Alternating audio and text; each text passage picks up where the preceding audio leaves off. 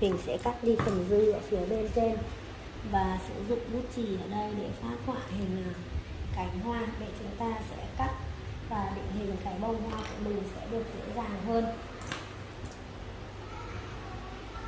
Từ đây thì bây giờ mình sẽ tiến hành cắt ra nhé.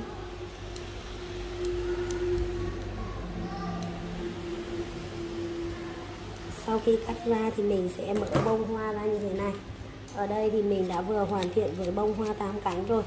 Và chúng ta sẽ tạo độ cong cho bông hoa của mình. Ở đây thì để có được một bông hoa hoàn chỉnh thì mình sẽ có ở đây với bốn bông hoa tương tự. Mình sẽ cắt ở đây với một nửa cánh hoa. Bông hoa này mình sẽ cắt là 1,5 cánh hoa. Bông hoa tiếp theo mình sẽ cắt là 2,5 cánh hoa. Và bông hoa cuối cùng mình sẽ cắt là 3,5 cánh hoa sau khi những cánh hoa đã được cắt. Bây giờ thì lần lượt mình sẽ cho keo và chúng ta sẽ gắn cố định chi tiết phần cánh hoa của mình lại với nhau nhé. Mình đã vừa ghép ở đây được 6 và 7 và bây giờ thì chúng ta sẽ sau khi mà mình đã vừa hoàn thiện ở đây với chi tiết của mình, đấy là những cánh hoa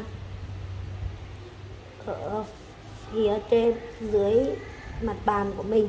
Thì bây giờ mình sẽ cần ghép lại ở đây với những bông hoa tiếp theo.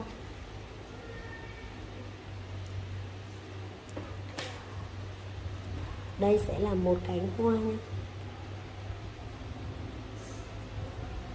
sau khi mà mình đã có những cánh hoa của mình như thế này rồi, chúng ta sẽ tiếp tục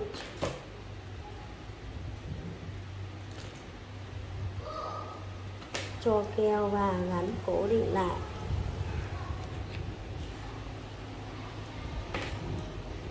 Mình sẽ ghép những cái bông hoa của mình từ bé đến lớn. Sau đấy thì trang trí vào cái vị trí hình đường tròn ở tâm giữa.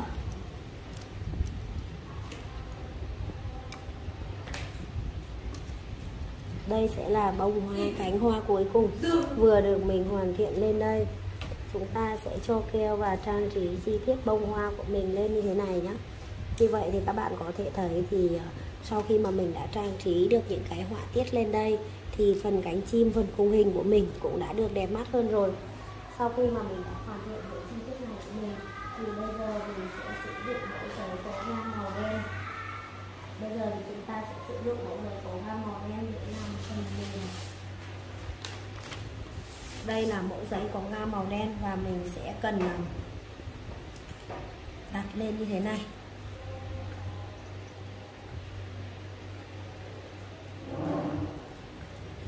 Sau đấy thì phát họa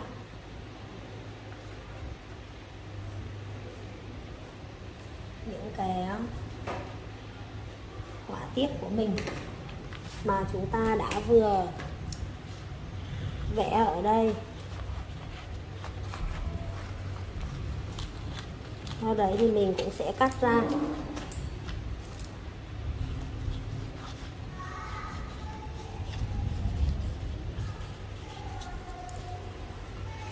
Sau khi mà mình đã cắt ra được ở đây, thì bây giờ mình sẽ dán cái họa tiết của mình lên đây nhé mình sẽ cắt ra để cho cái việc ờ, cố định của mình được dễ dàng hơn.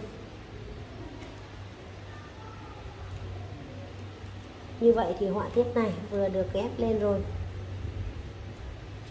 Bây giờ thì mình sẽ cắt để có được cái ờ, phần ờ, điểm trang trí thứ hai.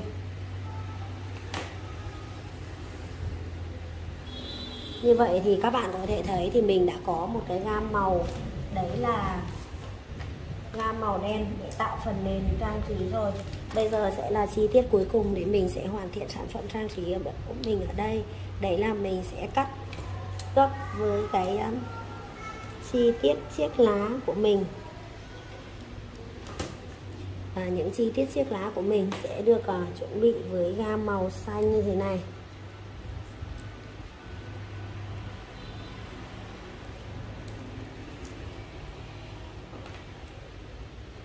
Mình sẽ cho keo và gắn lên các điểm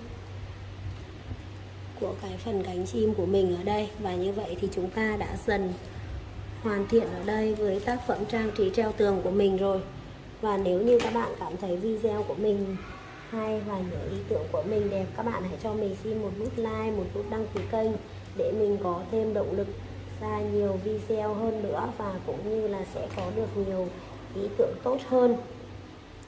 Và video của mình bây giờ thì mình sẽ kết thúc và hoàn thiện video của mình ở đây nhé Xin chào và hẹn gặp lại các bạn ở những video lần sau của mình.